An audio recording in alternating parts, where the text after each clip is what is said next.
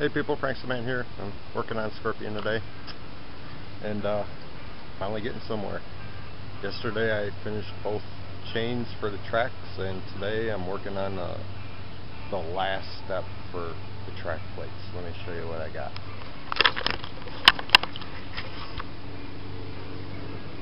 I got one done. Ready to bolt onto the chains and the chains are done so finally getting somewhere. Um, actually cramming a couple steps into the final one. Uh, made a jig. This is the last jig I need to make. Uh, this jig here is for putting on the guides. I got it in there. Oh, got to tune it a little bit. There we go. That sits in there. All my guides.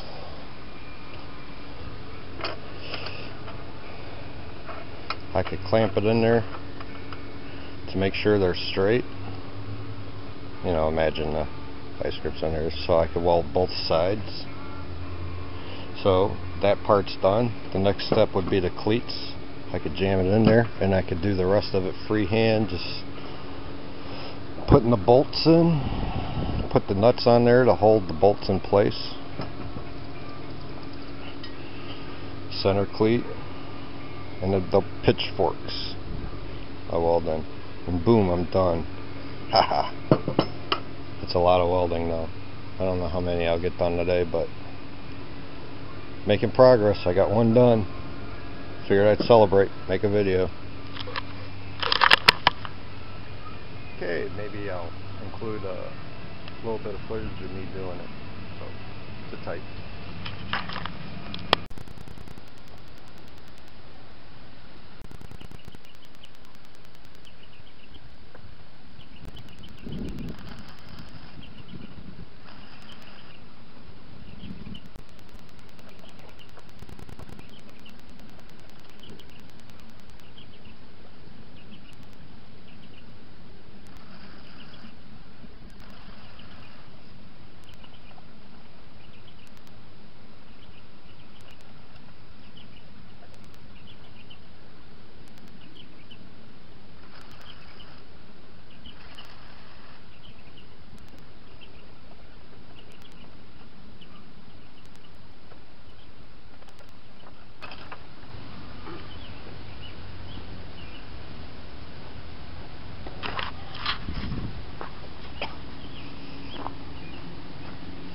Here we go.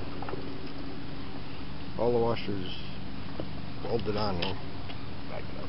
There we go.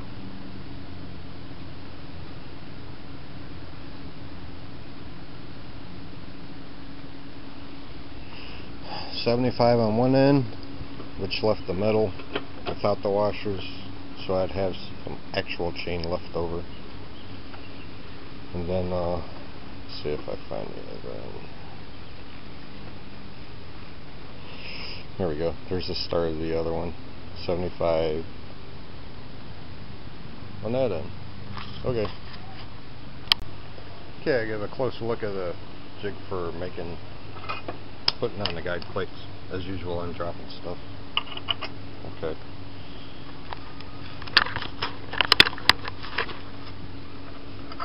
Uh, start with a piece of angle iron. I was thinking about setting the plate on the inside, but this is not 90 degrees. This part is on angle iron. So, had to work with the outside. I set the plate on there to make sure the plate goes into the same spot every time. That's what these pieces are for. So you got the left and the right. These tracks are directional sensitive because I have a little arrow match up the arrow to the arrow on the plate on the jig. And then uh, so I have that setting in place in the same spot every time. So now I need to start working on the jig for holding the guide into place. So this piece of angle iron, I made sure it was perfectly square on the part that sits down onto the angle iron and I welded it in place. Checked it, made sure it was somewhat close. It's pretty close. Good enough in other words. And then this piece here I welded on to hold the guide into place. And that guide is going to be in the same spot on every plate welded the same way so by me clamping it it is uh, making sure it's staying straight while I'm welding it and it doesn't bend this way or this way the only thing I have to worry about is the plate lifting off of there and I could easily just clamp it down this way too if I feel the need First one I had no problem. I don't think I'll have a problem with that part. So the next part would be strapping it to the table so it don't move. So doesn't fall over and then that's where this piece came in and I just welded it to part of the fixture and strapped to the table.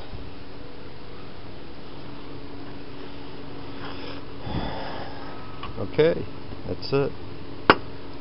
The last jig. Ha. Alright then the cleats are pretty much just set in place with the bolts with the nuts holding them in place and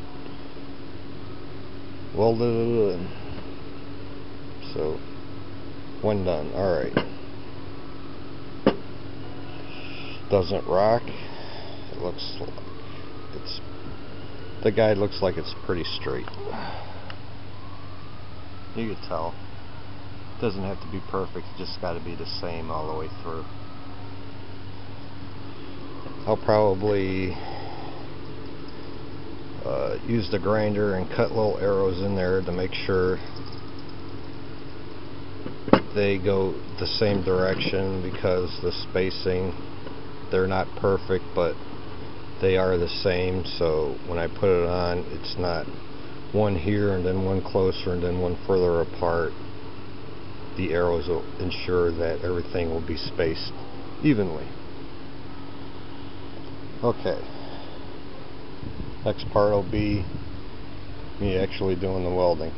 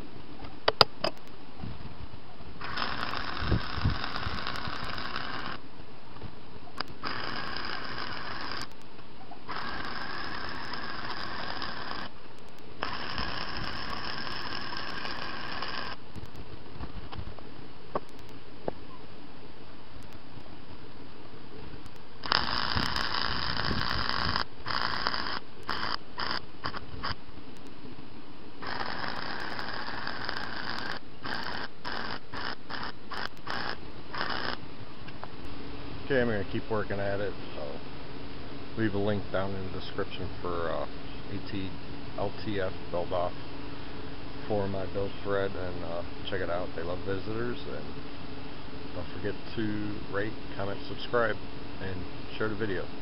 Thanks, man. Bye.